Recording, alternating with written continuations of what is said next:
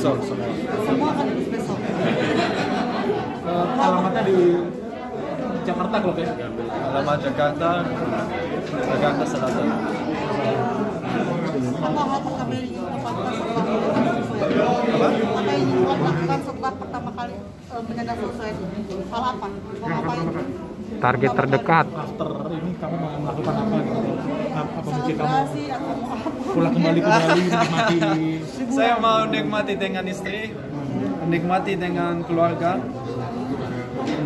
Saya punya rumah di Bali, saya kembali besok setelah ambil paspor dan KTP.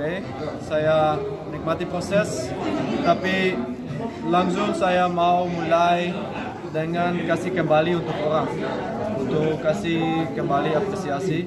Di semua proyek saya kita, semua bisnis saya kita, saya mau kasih kembali untuk untuk negara ini dan mulai hari ini besok nikmati tapi langsung mulai untuk uh, Memberikan sesuatu untuk negara. siap kan dia juga dia juga punya